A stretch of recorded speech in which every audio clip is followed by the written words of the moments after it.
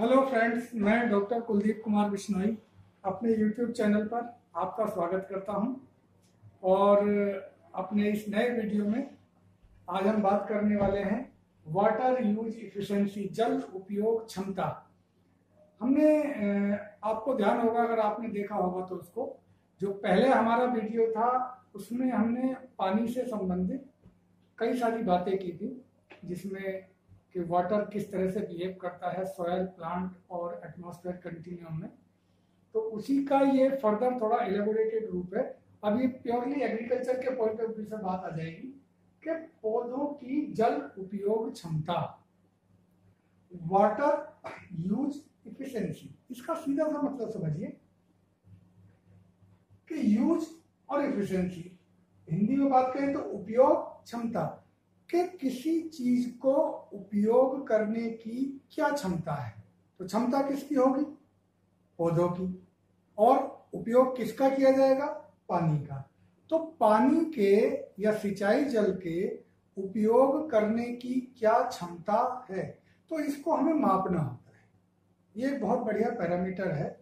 इसको सीधे सीधे आप ऐसे समझ सकते हैं कि वाटर यूज़ इफिशिएंसी जो होती है, वो yield yield means marketable yield जो उपज है ऐसी उपज जिसे हम बाज़ार में बेच सकते हैं।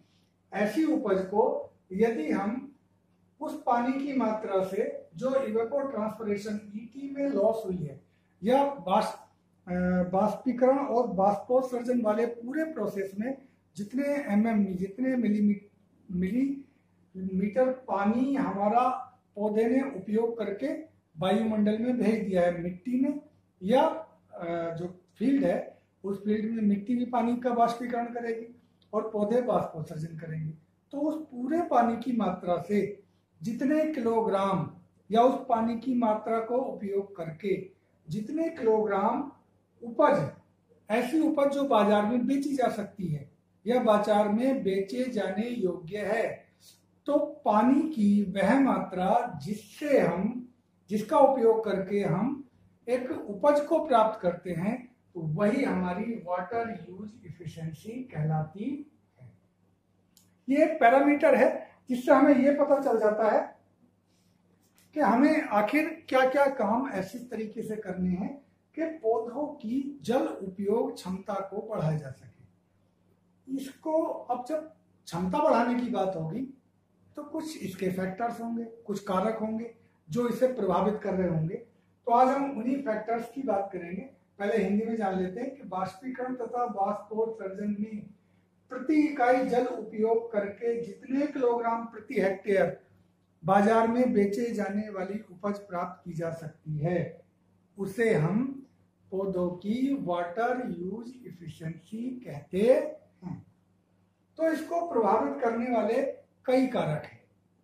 देखिए, अब इसको आप ऐसे जोड़िए कि पौधा है तो पौधे को कोई चीज़ प्रभावित करती होगी। जो जो चीज़ पौधे को प्रभावित करती है, वो सारी चीज़ें जल उपयोग क्षमता को प्रभावित करेंगी।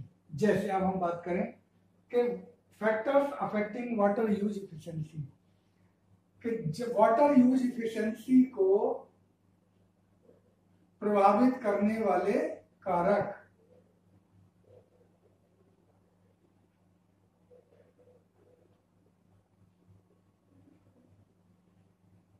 तो ये कारक कौन कौन से हैं? हम एक एक करके बात करते हैं। पहले जो उन कारकों की बात करते हैं जो प्लांट या पौधे से संबंधित है। तो ऐसे क्या हो सकते हैं कि पौधा की वैरायटी और पौधे की स्पेशीज। देखिए, गन्ना है, इसकी जल उपयोग क्षमता अलग होगी। धान है, उसकी जल उपयोग क्षमता अलग होगी। अमरूद है, उसकी जल उपयोग क्षमता अलग होगी। अर्थात कि पौधे की स्पेशीज या प्रजाति जैसे जैसे प्रजाति बदलती है तो पौधे की जल उपयोग क्षमता भी बदलती जाती है। वैसे ही, अब मान लो किसी एक प्रजाति की बात आई तो एक प्रजाति मान लो गन्ना है आपका तो गन्ने में कई वैरायटी हो सकती हैं। तो उन वैरायटियों की भी जल उपयोग क्षमता अलग अलग होती है।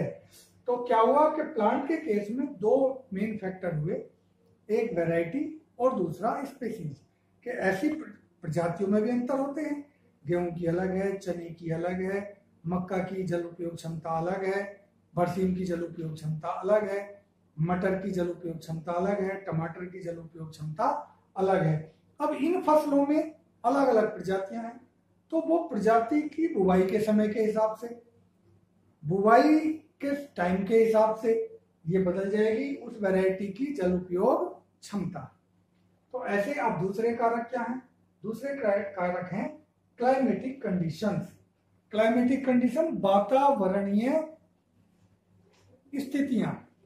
तो वातावरण की कौन कौन सी स्थिति है? देखिए, आप ये समझते हैं कि वातावरण में हम तीन तीन चीज़ों को लेके चलते हैं। वातावरण में हमारा मेन चीज़ होती है सनलाइट सूरज की रोशनी, और क्या होती है? हवा, और क्या होता है? टेम्परेचर टेम्परेचर के बाद और क्या हो सकता है? अपेक्षिक आर्द्रता रिलेटिव ह्यूमिडिटी तो रिलेटिव ह्यूमिडिटी हुई टेम्परेचर हुआ विंड स्पीड हो गई, और और क्या हो सकता है? सोलर लाइट का जो क्वांटम है कितनी तीव्रता के साथ इंटेंसिटी क्या है? लाइट इंटेंसिटी सूरज से जो रोशनी आ रही है, अब मान लीजिए, एक ठंड के दिनों में सूरज की रोशनी बहुत धीमी होती है तो उस समय जो पौधे होंगे, उनकी जल उपयोग क्षमता कुछ अलग होगी। और जो वर्तमान में जो ये गर्मी का महीना चल रहा है, इस समय जल उपयोग क्षमता कुछ अलग होगी। तो ये सारे फैक्टर्स जो बाष्पोत्सर्जन और बाष्पीकरण को प्रभावित करते हैं, वो सारे फैक्टर्स को यदि हम कुछ मात्रा तक कंट्रोल कर लें। अब जैसे हम क्या कंट्रोल कर सकते हैं? हम पौधे की सतह से ट्रांसपरेशन होता है। बाष्पोत्सर्जन पौधे की पत्तियों से होता है। यदि हम ट्रांसपरेशन इनहिबिटर्स कुछ केमिकल्स ऐसे हैं, जो पौधे की सतह से होने वाले बाष्पोत्सर्जन को कुछ हद तक रोक देते हैं, यदि हम उनका स्प्रे कर दें तो क्या होगा? बाष्पोत्सर्जन में पानी के जो उड़ रहा था, उसकी मात्रा कुछ कम हो जाएगी। जब कम हो जाएगी तो वाटर लॉस कम हो जाएगा और वाटर यूज़ बढ़ जाएगी। और क्या करें हम? बाष्पीकरण होता है मृदा की सतह से। खेत में मिट्टी है, मिट्टी की सतह से पानी वाष्प बन के होता है। तो हम कोई ऐसा रास्ता अपनाएँ जिससे कि बाष्पीकरण कम से कम हो। तो क्या कर सकते हैं कि खेत में फ़सल के बीच में जो खाली स्थान है, उसमें हम मल्चिंग मल्चिंग कर सकते हैं। क्या कर सकते हैं? मल्चिंग। मल्चिंग क्या होती है कि किसी कार्बनिक पदार्थ की जैसे पत्ते हैं या टहनियाँ हैं या फ़सल के अवशेष हैं, उसको एक समान मात्रा में बिछा देते हैं पूरी खाली जगह पर।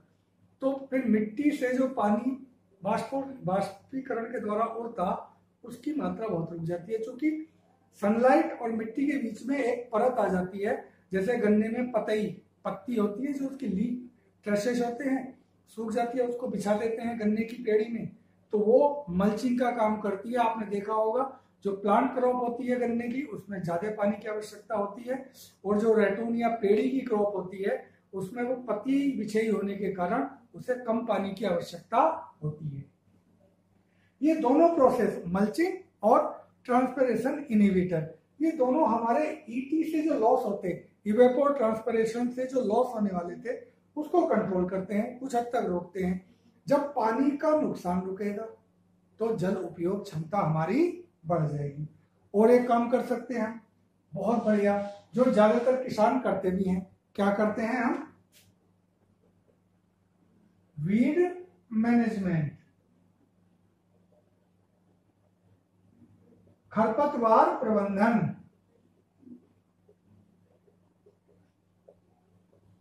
अब खरपतवार प्रबंधन में क्या होगा? आपने देखा, जितना खेत में हम पानी देते हैं, उसका उपयोग कौन करता है? या तो फ़सल, या फ़सलों के बीच में उगने वाले खरपतवार। यदि हमने खरपतवार का प्रबंधन इस प्रकार कर लिया कि जितना पानी हमने खेत में पहुँचाया है, वो हमारी सिर्फ़ फ़सल के पास या फ़सल के ही काम आए तो पानी, दिए जाने वाले पानी की मात्रा कम होगी और फ़सल की पैदावार अधिक होगी। तो इससे क्या होगा? कि हमारी water use efficiency water use efficiency क्या हो जाएगी? बढ़ जाएगी। यही हमारा उद्देश्य है। कि हमें सारी वो प्रैक्टिस अपनानी है, वो सारे काम करने हैं, जिससे पौधों की जल उपयोग क्षमता बढ़ सकती हो। तो हम क्या करें? कि खरपतवारों को उस प्रकार प्रबंधित करें कि वो फ़सल में कम से कम हानि पहुँचाए और दिए जाने वाले खाद और पानी, इन दोनों का वो कम से कम उपयोग कर पाए। तो इसके लिए हम क्या करते हैं कि पानी देने की उन्नत तकनीकी, जैसे ड्रिप इरिगेशन स्प्रिंकलर इरिगेशन इनका टपका विधि या बौछारी विधि, इनका प्रयोग करते हैं। माइक्रो इरिगेशन जो होती है। क्यों? कि वो जब खरपतवार को पानी पहुंचाएँगी ही नहीं, खरपतवार की वृद्धि नहीं होगी। वृद्धि नहीं होगी, पानी का नुकसान नहीं होगा। तो उस फ़सल को पैदा करने में बहुत कम पानी लगेगा, लेकिन पैदावार ज़्यादा मिलेगी। जब कम पानी लगा के ज़्यादा से ज़्यादा पैदावार मिले, तभी वाटर यूज़ इफिशियंसी बढ़ती है। हमारा नेक्स्ट फैक्टर क्या कहता है? फैक्टर है तीसरा सोयल मॉइस्चर कंटेंट मृदा में नमी की मात्रा को किस प्रकार बना के रखें? तो दो चीज़ तो हमने अभी बात करी। एक तो हम खरपतवार का प्रबंधन कर लें, वो भी मृदा नमी को हमारी बना के रखता है। और और हम क्या करें? हमें दूसरा काम करना पड़ेगा जो मल्चिंग जो क्रॉप रेसिड्यू फ़सल के जो अवशेष हैं, उनको खेत में ही छोड़ दें हम जब खेत में छोड़ेंगे हम तो वो मिट्टी में गलेंगे, सड़ेंगे और कार्बनिक पदार्थ का निर्माण करेंगे। ये जितना मिट्टी में अधिक मात्रा में कार्बनिक पदार्थ होता है, वो उतने ही ज़्यादा समय तक पानी को रोके रखने की क्षमता बढ़ाता है। जितना कार्बनिक पदार्थ ज़्यादा होगा मिट्टी उतने ही ज़्यादा मात्रा में पानी को अपने अंदर रोक सकती है। और दूसरा फ़ायदा क्या होगा कि मिट्टी में पोषक तत्वों का भंडार बढ़ेगा। जब पोषक तत्व बढ़ेंगे तो फ़सल की पैदावार भी बढ़ेगी, क्योंकि वही पौधों के काम आएगी। पानी की मात्रा अधिक है मिट्टी में, और पैदावार अधिक हो रही है तो बाहर से पानी लगाने की आवश्यकता कम होगी। अर्थात पानी कम लगाना पड़ा, लेकिन पैदावार अधिक मिली, जिसके कारण हमारी जल उपयोग क्षमता या वाटर यूज़ इफिशियंसी फिर बढ़ी। तो एक ये काम करते हैं हम। चौथा काम क्या करते हैं? फर्टिलाइज़र उर्वरक। आपने देखा होगा जैसी, जब किसी खेत में हम उर्वरक देते हैं तो कब देते हैं? उर्वरक हमेशा जब सिंचाई दी, सिंचाई के बाद मिट्टी में चलने लायक जब स्थिति हो जाती है तब हम उर्वरक का प्रयोग करते हैं। और उर्वरक के बाद आप देखते हैं कि फ़सल पे एकदम बढ़वार होती है, लंबाई में बढ़ती है, पत्तियों की संख्या बढ़ती है, पौधों के कल्ले बढ़ते हैं। जब ये सब चीज़ बढ़वार होंगी तो पौधे की जल उपयोग क्षमता भी बढ़ेगी और जल की मांग भी बढ़ेगी। तो अब सीधा सीधा संबंध है, जैसे उर्वरक हम देंगे, उसके बाद पौधे की मांग पानी के लिए बढ़ जाएगी। तो हमें उर्वरक ऐसी अवस्थाओं में देना चाहिए, जिन अवस्थाओं में पौधे को हम पानी भी देते हो एक बार, और दूसरी अवस्था वो कि जब हमने उर्वरक दिया तो उसके बाद हमारी मिट्टी में उतनी नमी हो कि पौधे उस पानी के माध्यम से, उस उर्वरक का प्रयोग कर सकें। तो जब उर्वरक का प्रयोग करेंगे अच्छे से तो फ़सल की पैदावार बढ़ेगी। पैदावार बढ़ेगी, पानी हमने उसी टाइम पे दिया है तो अर्थात क्या हुआ कि सही समय पे पानी देने से और सही समय पे उर्वरक का प्रयोग करने से पौधों की पैदावार बढ़ेगी कम पानी से। और जब कम पानी से पैदावार बढ़ेगी तो पौधे की जल उपयोग क्षमता बढ़ेगी। और क्या काम कर सकते हैं पांचवा फैक्टर क्या है? ये है प्लांट पॉपुलेशन पौधों की संख्या। जितनी अधिक मात्रा में अच्छा अधिक मात्रा में पौधे होंगे। तो क्या होगा? वो ज़्यादा पानी लेंगे या कम? एग्जैक्टली वो ज़्यादा पानी लेंगे। उन्हें ज़्यादा ज़रूरत होगी। आपके घर में एक लोग हैं तो आप हो सकता है थोड़े से चावल, तीन या चार, चपाती, दाल, रोटी, इतना। लेकिन जब छह लोग होंगे तो आपको ज़्यादा खाना बनाना पड़ेगा। वैसे ही मिट्टी, पौध खेत में अगर पौधों की संख्या अधिक है तो उस अधिक संख्या की भरपाई करने के लिए हमें उर्वरक अधिक देना पड़ेगा। उर्वरक जब ज़्यादा देंगे तो वो पौधे में विकास का काम करेगा। तो विकास में पानी सबसे ज़्यादा आवश्यक है, क्योंकि किसी भी पौधे का लगभग पचहत्तर से पिचासी प्रतिशत तक भाग पानी से बना होता है। तो जब पौधों की संख्या अधिक होगी तो नेचुरली हमारी पानी की मांग भी बढ़ेगी। तो हमें क्या करना है? पौधों की उतनी संख्या को रखना है खेत में, जितनी वैज्ञानिक विधि से अधिकतम पैदावार के लिए आवश्यक है। तो ये हम कैसे मेंटेन करते हैं कि फ़सल को सही अंतरण पर, सही स्पेसिंग पर लाइन से लाइन की दूरी जो बताई गई है उतनी रखें। एक लाइन में फिर पौधे से पौधे की दूरी कितनी है वो। यदि हमने दो चीज़ तय कर ली, सही से मेंटेन कर ली तो हमारी जितनी एक हेक्टेयर क्षेत्रफल में पौधों की संख्या होनी चाहिए, उतनी ही होगी। और जब पौधों की संख्या उतनी होगी तो हमारी उस फ़सल को दिए जाने वाले पानी से ज़्यादा मात्रा में उपज प्राप्त होगी और वाटर यूज़ इफिशियंसी बढ़ जाएगी। आप इसको ऐसे समझिए। जैसे आप बगीचा लगाते हैं तो बगीचे में आप आम के पौधा लगा रहे हैं, मान लीजिए, और आपका दशहरी प्लांट है। आपने आठ बाई नौ मीटर या नौ बाई नौ मीटर या आठ बाई आठ मीटर या सात बाई सात मीटर की दूरी पर लगाया। कितने पौधे लगेंगे हेक्टेयर में? पौधों की संख्या आप पता कर सकते हैं। अब यदि मान लीजिए आपने पौधों की संख्या बढ़ानी है तो क्या करना पड़ेगा? स्पेसिंग कम करना पड़ेगा। आपने हाई डेंसिटी प्लांटिंग की और आपने ढाई गुना ढाई या तीन गुना तीन मीटर पर आम के पौधे लगाए तो पौधों की संख्या बढ़ेगी। जब पौधों की संख्या बढ़ेगी तो आपको जब एक बार में सिंचाई करेंगे तो सिंचाई में पानी की मात्रा भी नौ बाई नौ मीटर और तीन बाई तीन मीटर, दोनों में पानी की मात्रा में ज़्यादा अंतर आएगा। क्योंकि जब पौधों की संख्या ज़्यादा है तो उसको पानी की मांग भी अधिक होगी। ये जल उपयोग क्षमता हमने देखा कि ये क्या था? अगर हमारे दिमाग में या हमारे पढ़ते समय, सिंचाई करते समय ये बात ध्यान में रखनी चाहिए कि किस प्रकार हम अपने दिए हुए पानी की अधिकतम मात्रा को पौधे के काम में ला सकते हैं। तो आप देखेंगे कि ना तो आप नहर से ज़्यादा पानी देंगे, ना आप ट्यूबवेल से अधिक पानी देंगे। और ये कैसे कर सकते हैं हम? मिट्टी को समतल करके। जब मिट्टी समतल होगी खेत में तो पानी एक समान रहेगा। एक समान रहेगा तो ना कहीं ज़्यादा भरेगा, ना कहीं कम होगा। एक चीज़ तो हम खेत को समतल रखें। किसी भी फ़सल की बुआई करते समय जुताई को इस प्रकार करें कि खेत आमतौर से समतल बना रहे। पटेला लगाएँ खेत में जुताई के बाद। अगर लगता है कि खेत कहीं ऊँचा नीचा है तो कुछ तो पटेले से, और अगर और ज़्यादा मात्रा में है तो लेबलर लेकर के उसे एक साथ करा करा लेना चाहिए, समतल करा लेना चाहिए। क्योंकि यहीं से हमारी जल उपयोग क्षमता बढ़ाने की शुरुआत होती है, जुताई से ही। फिर हमारे फ़सल का चुनाव ऐसा करना चाहिए मौसम के हिसाब से, कि इस मौसम में और अपनी पानी की सप्लाई कैसी है। इन दो के हिसाब से हमें फ़सल और उस फ़सल की वेराइटी इन दो को चुनना चाहिए। फिर क्या करना चाहिए हमको कि उस फ़सल में किस किस समय पानी आवश्यक है? उन अवस्थाओं का ध्यान रखना चाहिए। वो अवस्थाएँ कौन सी होती हैं? Critical stages. क्रांतिक अवस्थाएँ। अब ये जो क्रांतिक अवस्थाएँ हैं, क्रांतिक अवस्थाएँ क्या हैं?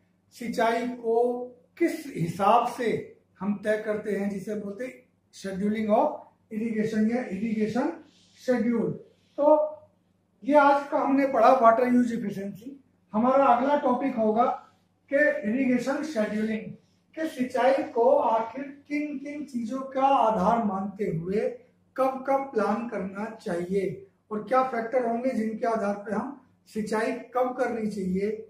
जैसे अभी हम क्रांतिक अवस्था की बात कर रहे थे या ईटी की बात कर रहे थे तो ये हमारे नेक्स्ट टॉपिक में आएँगे, जिसमें हम इरिगेशन शेड्यूलिंग की बात करेंगे।